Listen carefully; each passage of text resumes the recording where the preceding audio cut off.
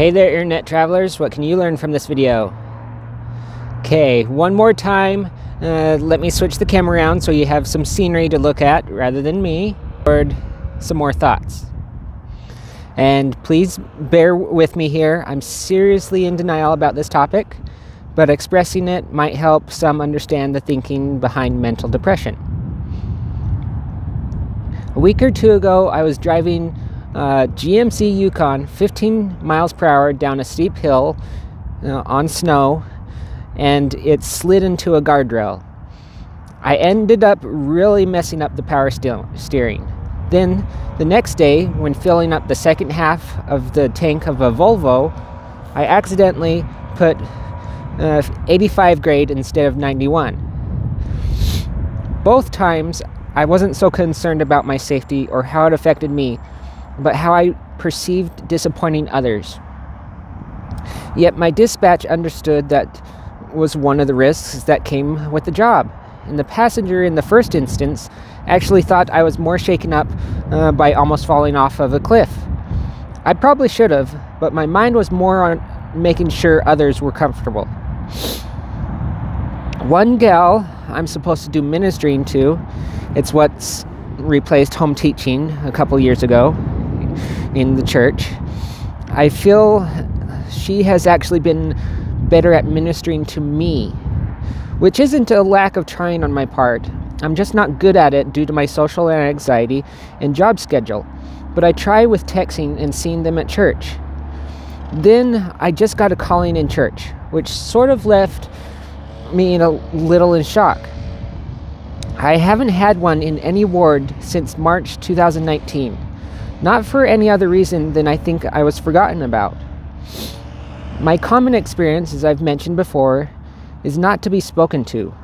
So when someone wants to ask me questions, and especially when they seem to want to listen to me, I see that as a kindness.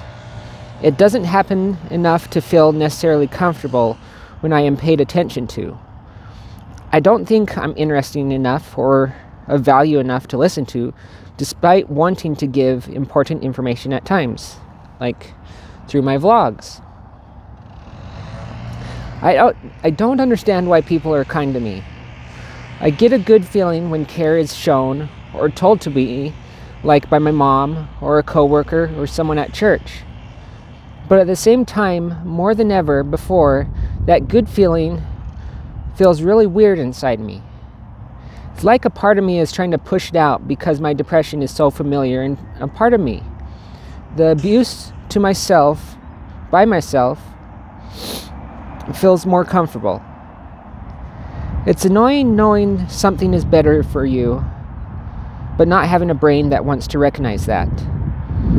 This is despite being taught the worth, the worth of souls is great in the eyes of God, and firmly believing that Heavenly Father and Jesus Christ love me and guide me. It's still very hard for me to see any self worth. I hope someone, someday, someone can help prove me wrong about myself. But it seems like such a tough and unwanted job, I'm not going to force that on anyone. I'm not really expecting it of anyone. So, around, yeah, it's just a short little thought here, but um, thank you for spending time with me in these vlogs. Um, next vlog, we'll get back on schedule of more normal vlogs. But yeah, thank you for spending time uh, with me and listening. And you're weird but wonderful for doing so. And as always, y'all keep smiling.